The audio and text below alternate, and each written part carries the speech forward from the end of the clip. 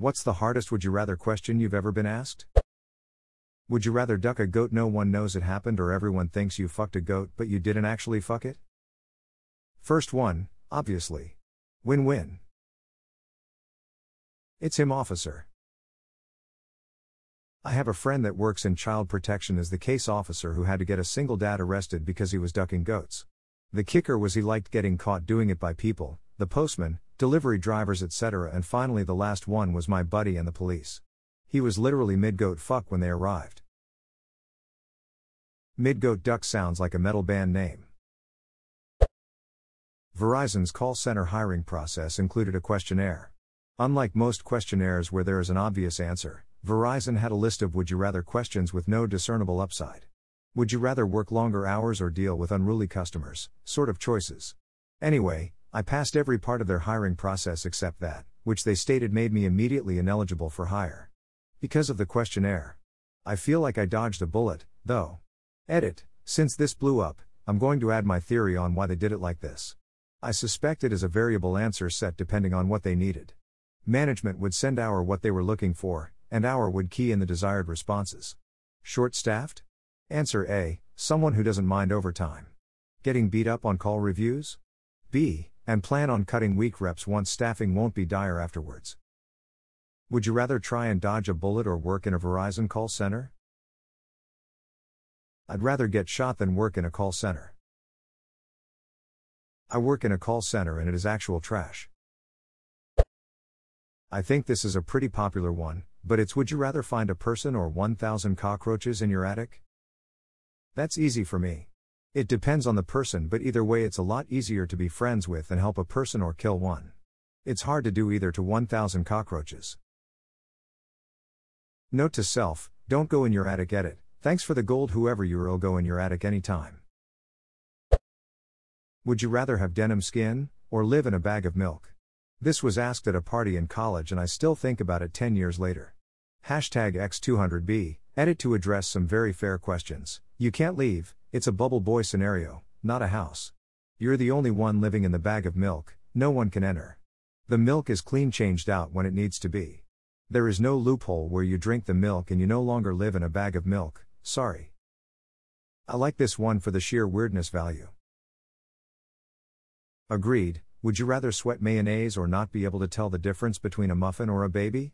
Also falls under this category. This one is easier, you choose the second one. You live a 100% normal life if you never interact with babies or muffins. Edit, this one sucks if you actually have babies smile. Good news, everyone. Sob. Had someone at a rave ask, Would you rather give the first 90% of a blowjob, or the last 10%? This one's devastating. What do you mean, I can only pick one? How much would it take for you to suck a dick? Man, I'd pay anything to suck a dick. Would you suck a dick for a million dollars? Yeah, but it'll need a while to come up with the money.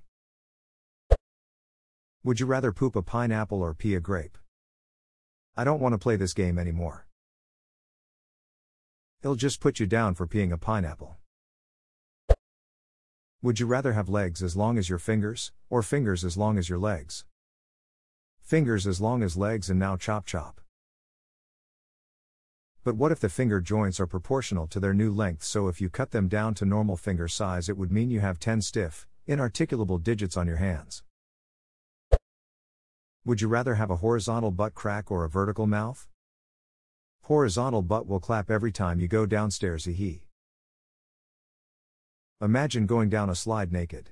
FWPT, FWPT, FWPT, FWPT. There are a disturbing amount of questions in here that involve ducking your parents. I came here looking for fun fantasies and just found so much pain. Fluent in all languages or master of every instrument? The language one is more useful, however, as a musician, I can't pass up the opportunity to master all instruments. I feel like that one would be way more fun, and also more profitable. A nipple sized dick or dick sized nipples? I mean, I'm a woman so, technically already have the former. Edit, I half assed this comment and forgot about its existence 10 seconds later. Imagine my surprise seeing how many upvotes it's getting. Would you rather be blind or deaf? It seems like an easy choice to say deaf since it would seem to be much less difficult to navigate the world being deaf than blind, but I once had a blind friend, who was not born blind and had only become so around age 17, who told me she'd still rather be blind than deaf because being deaf sounded very lonely. I still think about that conversation sometimes. You know, I don't think being deaf sounds like anything at all. I mean, say what you want about deaf people. You gotta hand it to blind prostitutes. Would you rather have the ability to effortlessly run at 100 miles per hour, or fly at 10 miles per hour? Flying would be arguably be better for one reason only. If you wear a wingsuit, you can accelerate really high in the air and just stop flying and use your wingsuit to glide hella fast wherever you are going. Yeah, 20 minutes straight up and you could seriously go pretty far.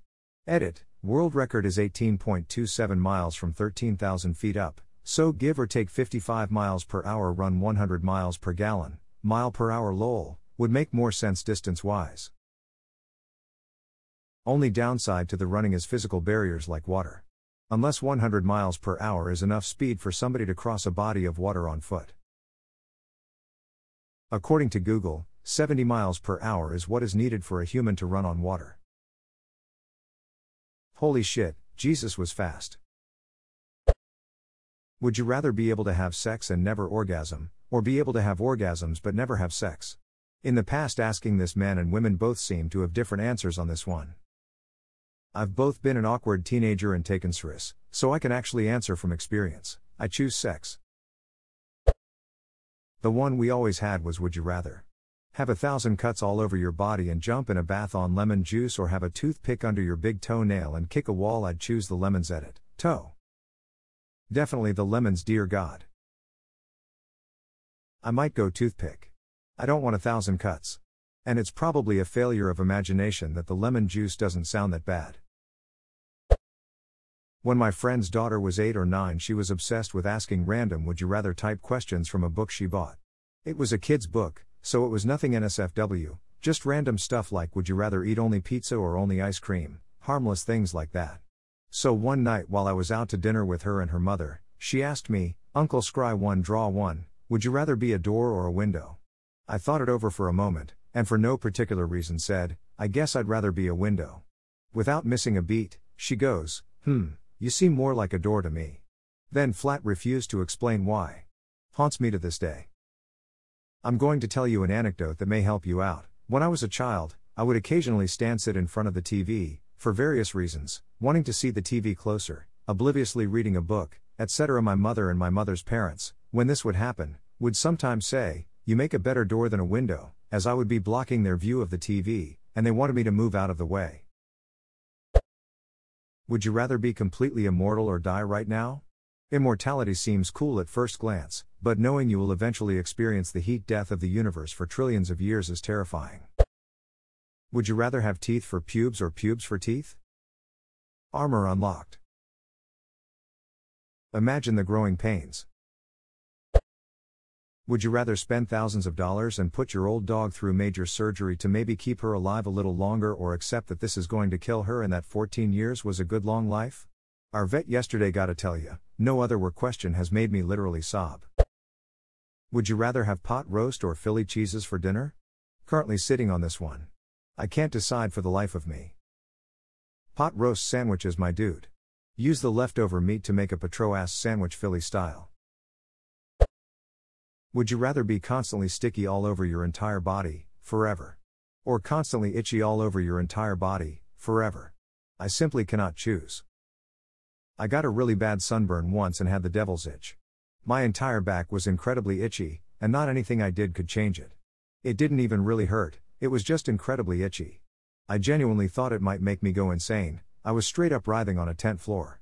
I have also broken my collarbone. Breaking my collarbone, and the subsequent surgery, were less uncomfortable than the few hours I was constantly itchy from the sunburn. Trust, sticky all over your body is way better than itchy.